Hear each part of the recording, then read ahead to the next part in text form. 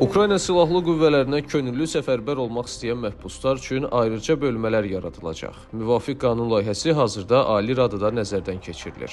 Bu barədə telemarafon zamanı Ədliyyə naziri Denis Malyuska məlumat verib. Onun sözlərinə görə Ukrayna qanunvericiliyində qanunun icrasının effektiv olmasını təmin edəcək müəyyən təminatlar var.